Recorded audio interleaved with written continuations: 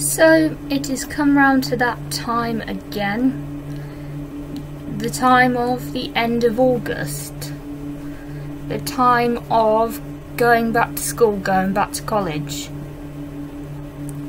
And there is obviously a difference between year 11 and year 12, so here are some things that you can prepare for and things to expect.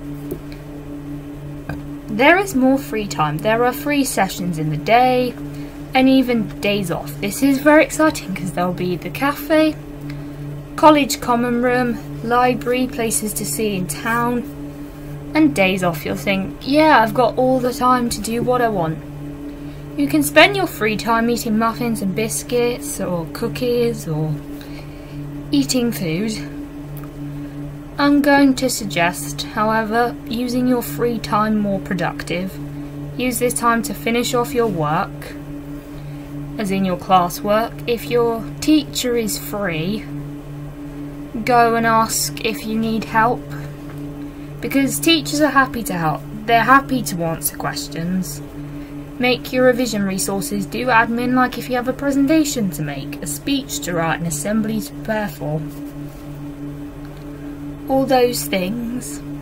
Because then if you're getting distracted, at least you're still being productive. Next, instead of exercise books, you will have folders. You need to keep your folders organised. I have videos on organising my folders. If you need help, though you do need to keep them organised so you've not got loose notes which can get crumpled running around your bag. Have a home folder.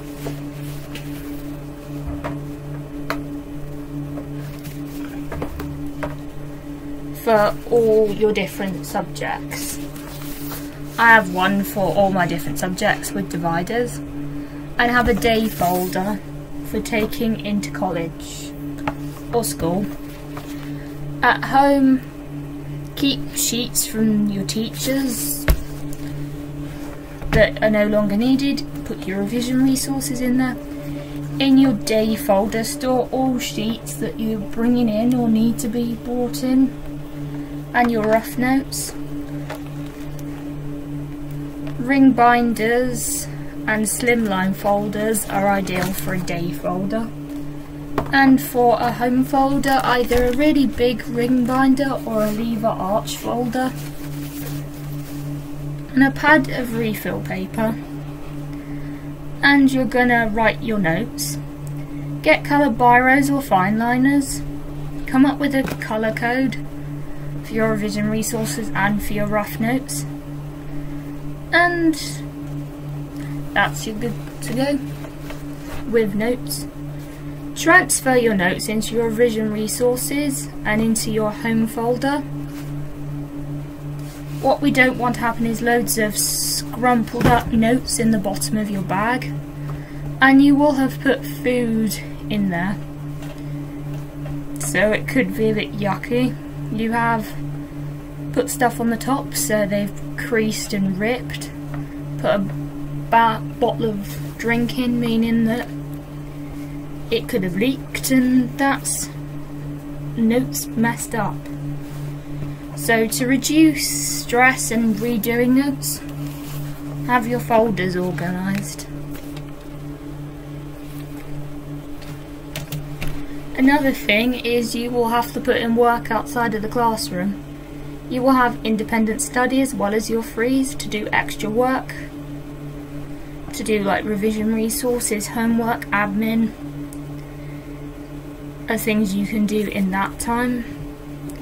You will need to make your revision resources and start revising. I mean by doing that is making your revision resources like your flashcards, your mind maps, your notes, whether they're digital or handwritten. Go over the content that you've already done. Read ahead if it's a subject like science. And do practice questions. Thinking about university, I'm not saying personal statements, I'm saying think about where you want to go for uni, what you want to do. Those things are the best things to decide in year 12. in terms of uni. This is gonna sound horrible, is you need to start revising because proper exams are coming back. It sounds scary, but sort of need to start off making your revision resources and then revising for them.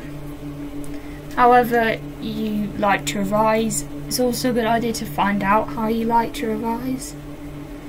So I hope you enjoyed this video. Don't forget to like, comment, subscribe, and I'll see you in another video. Bye.